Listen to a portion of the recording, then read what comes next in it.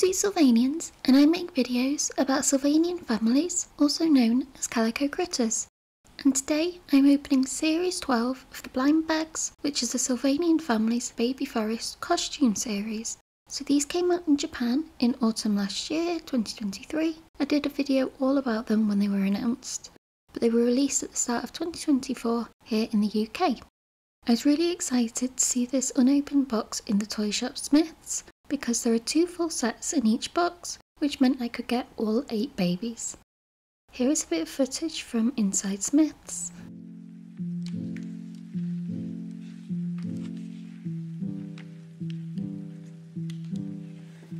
And here it is. The shop assistant was happy for me to take this box, as they would otherwise just throw it away, and I thought I could perhaps use it for the background in photos. This is what the box looks like. It has all the figures round the side, with a waterfall, foresty scene in the background. And these are the instructions for a shop to set up the display. And here's the bag lined up.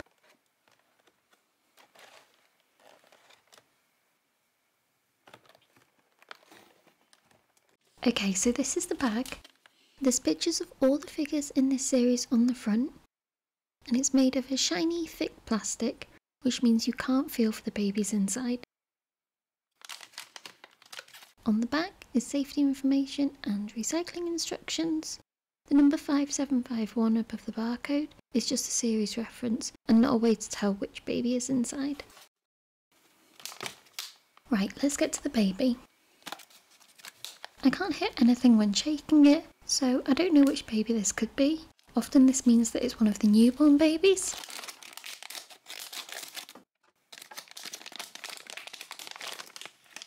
And it is. I'll take a look at the booklet first, which has all the figures on the front. There's instructions for some of the accessories and how to dress the figures.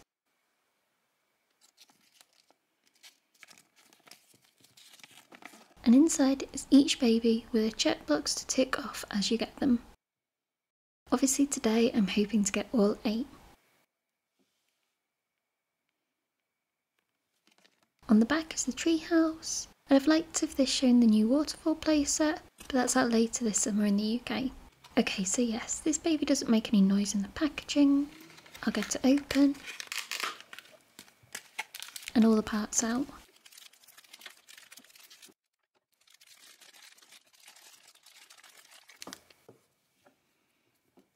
So the leaf is in two separate pieces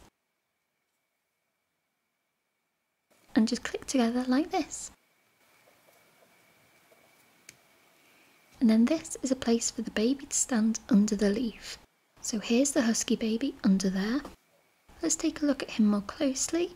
This is newborn triplet baby Drake Husky. He is wearing a pale pink wrap, but it has a scalloped edge and a turned over collar, which makes it slightly different than the usual ones.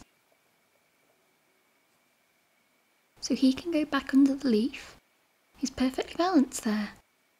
I will just put him on my desk like this. Okay, bag number two. There is a noise to this when I shake it. I'm not sure which it could be. So let's cut it open. Oh, another newborn baby. The leaflet will be the same,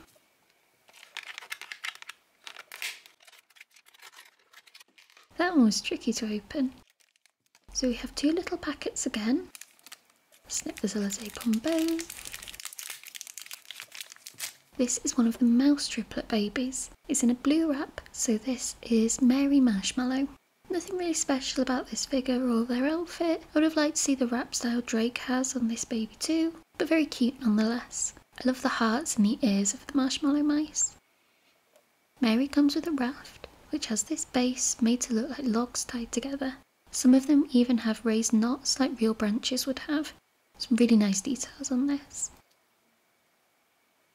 And the sail for this raft is a leaf with jaggedy edges and bent around another stick, I think. If this was brown rather than green, I think that would look better. It is a really nice shape though.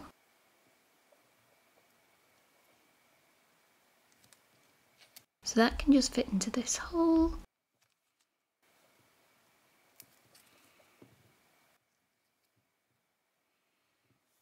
And Mary can hop on to go for a sail. She can balance on there, which is good. I'll pop these down next to Drake.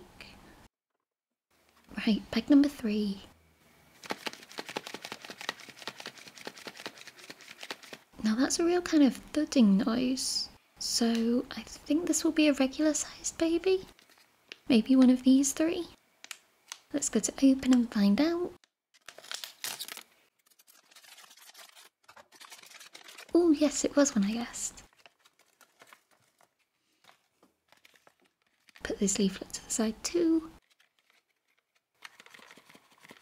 And yeah, that, that thudding was the baby in the packaging. Okay, it feels mean to keep shaking her like that.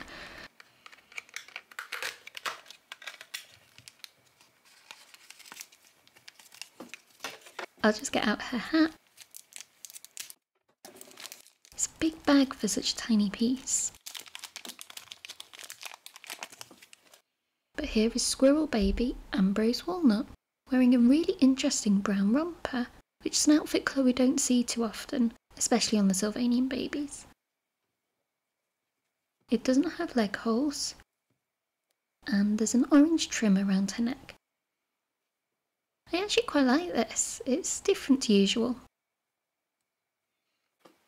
Her hat is a tiny acorn cap in beige plastic. It has the realistic ridged pattern and a hole for her ear. It fits on easily like this to make a really cute outfit. I love the muted colours of this and using a squirrel figure is perfect. I think they actually eat acorns in real life. But we have to move on to bag number four. Another noisy one. One of these two possibly?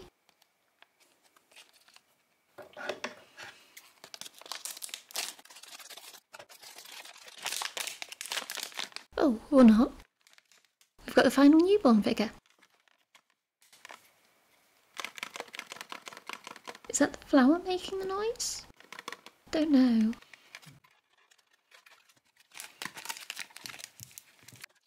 We're cutting a lot of tape today.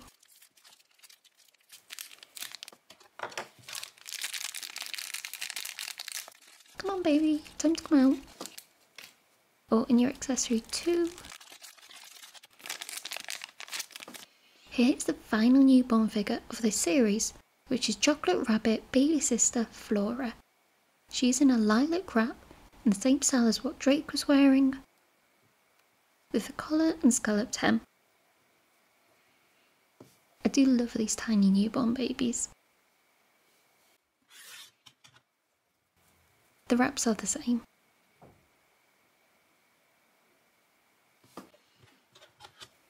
And the base of Flora's accessory is the same as Drake's too, all green with a flat part for the baby. The top is this gorgeous flower piece. It's a stem with three silvery bell-shaped flowers. They're meant to be lily of the valley, which is a small plant found in woodlands. And I love how they've made this so detailed with a bit of stem on top too. Green is maybe a little brighter than the actual plant, but overall it's really pretty and one I wouldn't mind having a few more of. So let's put that in the base. It just clicks in and I can turn it to go a different direction. This gives space for Flora to come back. Ta-da! She looks adorable next to the flower. I think this is possibly my favourite so far. The flower would be a nice addition anywhere in my collection really. But no time to waste. On to bag number five.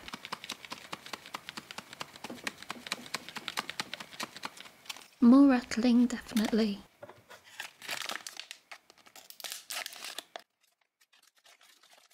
Which could it be? Oh yay, the deer baby. I don't need to show you the leaflet. So this is one that does make noise if you're looking for it.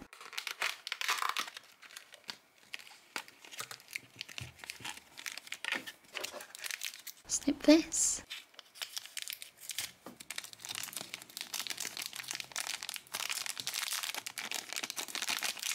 And here's the accessory.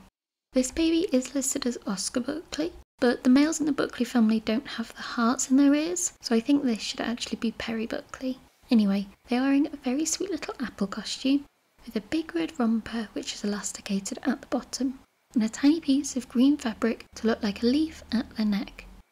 I actually think this style of romper works really well. It gives the rounded shape of an apple. And the baby has a hat or ear accessory in the shape of an apple. Nice and red too, with a little green leaf and stem. And a hole at the bottom for it to fit onto a baby. Now here is a different Sylvanian apple. I'd guess from the farm shop. It's smaller than this new one, which has to be larger to accommodate an ear. The older one is also a darker shade of red and doesn't have the green details, though there is a small stem. Anyway, let's put that on the baby. Oh, how cute! The accessory feels secure too, which is great. Yeah, I think this is really sweet actually. What are we on now? Number six? Yeah. More of a thudding sound. Who could it be?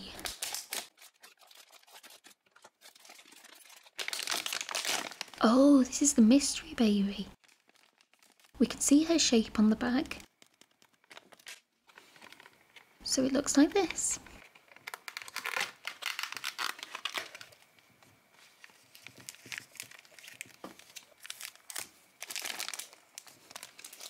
Okay, so this is the accessory, which is a mask in the shape of a leaf.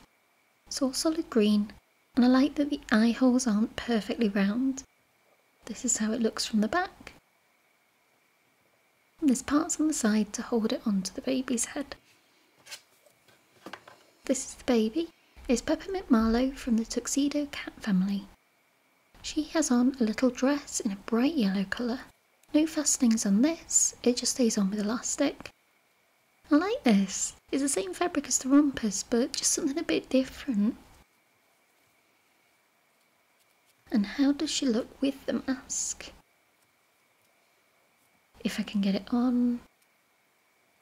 There, that signed up. It does look kind of silly, but these are toys. This is how it looks from other angles. I'm a little worried it will leave indentations on the side of her head, so won't keep it on forever. Plus, I need to see her cute little face. She can go next to Perry here. And I have just two bags left. Let's go with this one. Another dullish thudding. Hopefully it will be one of these. Maybe this one is the koala?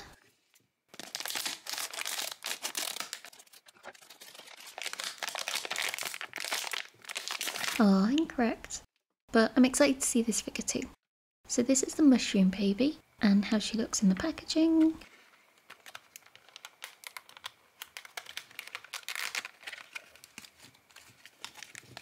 I'm glad I have my scissors right beside me for all this cutting. Okay, so this is Silk Cat Baby, Jilly Golightly.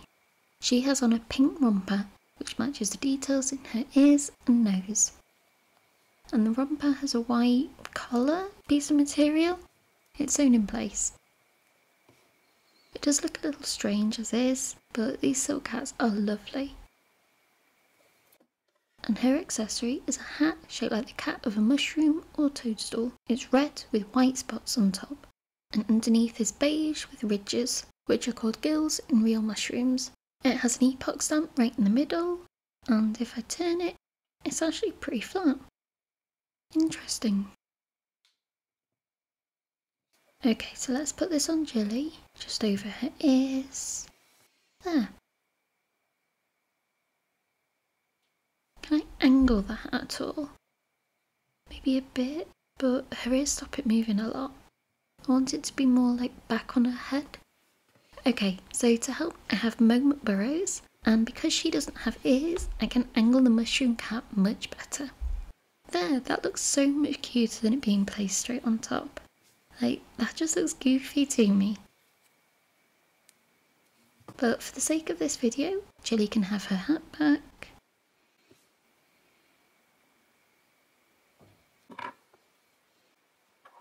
Okay, final bag. If the box theory is true, this should be the ladybird koala. Fingers crossed. The thudding noise sounds promising.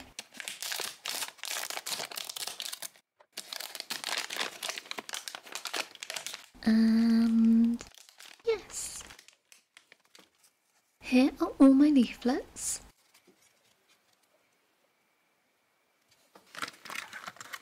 And this is the baby, who doesn't come with any clothes on.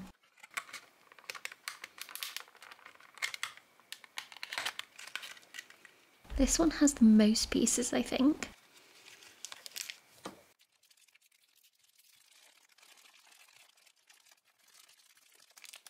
A of wings and an antenna headband. These wings are red with black on. The two larger shapes look like hearts. It's smooth on the back with a clip to go round the baby's neck. Could be a ring. Nice and neat.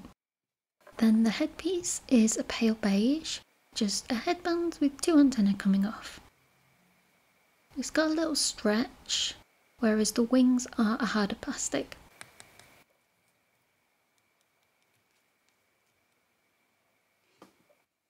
Then we have the poor unclothed baby and her outfit. It's red with black elastic and black lace. It's very rare to get black outfits in Sylvania. I only have a few pieces of clothing like that. That just stretches on. And smooth out the back. Cute. This is Julie Outback the koala. Her wings go on like this.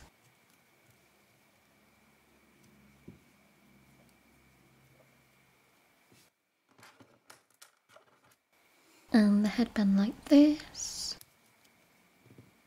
I assume in front of her is? Yeah, that looks correct. I like the antenna and what they were going for with the wing piece but I do prefer fabric clothes to plastic ones. Still sweet though. Here is another ladybird costume on Charlie Cottontail from the Bug Buddy set. The spots on his costume are just black buttons, and the red is a darker shade too. I like both headbands though. And Charlie's outfit has velcro at the back, I guess it's just a preference which style you prefer. They'll be friends in my collection. And I'll pop Julie down with the rest of the series. So that is the Baby Forest series of mystery bags. I'm sorry this took so long to post because this series is so cute. I don't think there's a miss at all in this. They've all got a well thought out costume concept which I really like, though maybe we could have used some more underutilised families too. I think my favourites are Flora because of the gorgeous flower accessory and the sweet lilac wrap.